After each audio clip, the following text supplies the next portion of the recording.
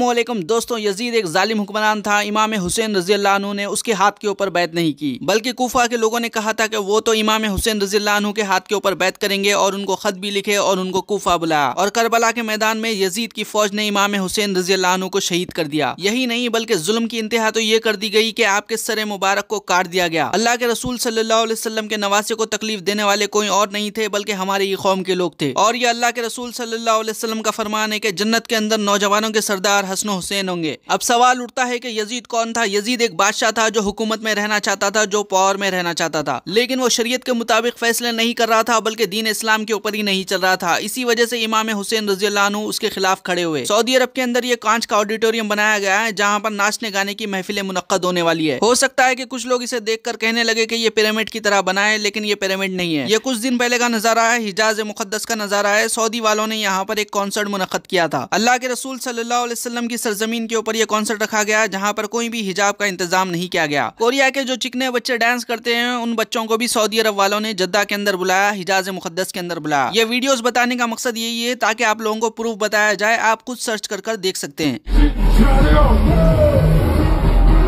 अब हमारे मुसलमान भाइयों को ये बात समझनी चाहिए कि जब सऊदी के हुक्मरान दीन इस्लाम के ऊपर नहीं चल रहे तो अगर इमाम हुसैन रज़ी होते तो क्या करते? या वक्त के हुक्मरान की बात मान लेते या फिर उसके खिलाफ आवाज़ उठाते? यजीद के पास बड़े बड़े आलिम थे, उन आलिमों ने फतवा दिया था इमाम हुसैन रज़ी को शहीद करने का। उन आलिमों का कहना था कि आप कुछ भी हो जाए, हुकूमत के खिलाफ आवाज़ नहीं उठा सकते। और जो लोग सऊदी से चंदा लेते हैं, वो लोग भी यही कहते हैं कि आप सऊदी की हुकूमत के खिलाफ कुछ भी नहीं बोल सकते, चाहे वो कितना भी गलत करे। हकीकत बात तो यह है कि इन उलमा इकराम ने दीन इस्लाम इस्लाम को समझा नहीं है। अगर दीन इस्लाम को वो लोग समझ जाते तो ये कहते कि जब तक हुक्मरान दीन इस्लाम के ऊपर चलेगा, अदल से काम लेगा, तब तक उसकी वफादारी की जाएगी, तब तक उसके खिलाफ आवाज़ नहीं उठाई जाएगी। और जब बैत ली जाती है, तभी भी यही कलिमात पढ़ाए जाते हैं कि जब तक आप दीन इस्लाम के ऊपर चलेंगे, हम आपके वफादार रहेंगे। क्या हमारे आलिम साहब ने तारीख नहीं पढ़ी? जब हज़रत उमर रज़ी जो के वक्त के खलीफा थे, खुतबा देने के लिए खड़े हुए तो उनके सामने सलमान फारसी रज़ी खड़े हो गए। और कहने लगे कि ना हम आपकी बात सुनेंगे, ना ही हम आपकी इतात करेंगे। अगर आज के दौर का कोई हुक्मरान होता ये बात सुनते ही सीधा सीधा मरवा देता या फिर जेल को भिजा देता। लेकिन हज़रत उमर रजील्ला ने पूछा की, वजह बताओ, क्यों तुम मेरी इतात नहीं करना चाहते? सलमान फारसी रजील्ला ने फरमाया कि सबके हिस्से में एक कपड़ा आया है तो आपके हिस्से में दो कपड़े कैसे आ गए? तो हज़रत उमर ने अपने बेटे को हुक्म दिया और फरमाया कि, उठो और वजह बताओ। हज़रत उमर के बेटे खड़े हुए और कहने लगे की, मेरे वालिद की हाइट आम लोगों से बड़ी है, इसी वजह से उनको एक कपड़ा बस नहीं हो रहा था, इसी वजह से मैंने अपने हिस्से का कपड़ा उनको दे दिया। ये सुनते ही सलमान फारसी रज़ी ने कहा कि, मैं आपकी बात भी सुनूँगा, मैं आपकी इतात भी करूँगा, कहकर बैठ गए। आज अल्लाह के रसूल